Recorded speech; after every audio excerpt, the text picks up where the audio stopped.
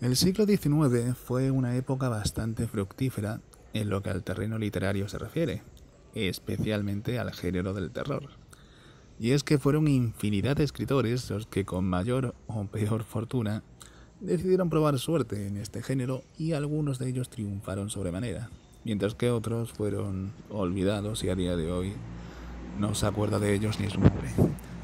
Afortunadamente, los que pertenecen al primer grupo se encuentra el escritor estadounidense Edgar Allan Poe, escritor que no solamente recibió en su momento el calificativo de padre del género detectivesco, género por cierto del que años más tarde el escritor escocés Arthur Conan Doyle serviría de inspiración para crear su personaje literario Sherlock Holmes, aunque este más tarde le lanzaría alguna contrapulla a este escritor estadounidense.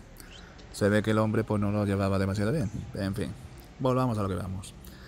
La cuestión es que entre sus muchas obras que escribió Poe, lo que sobre, sobre destacan por encima de todo están los relatos de misterio y locura. Un género que la verdad supo cultivar magníficamente bien, hasta tal punto de que a día de hoy, más de dos siglos después de su fallecimiento, sus relatos siguen más vivos que nunca, y con toda la razón. Estos relatos que tengo yo ahora mismo los leí hace muchos años, evidentemente. Sin embargo, aprovechando que esta tenía entre manos esta edición ilustrada de ilustrada por Benjamin Lacombe, ilustrador francés con un estilo muy particular, muy cookie. La verdad es que me lancé por ella y no me arrepiento en absoluto.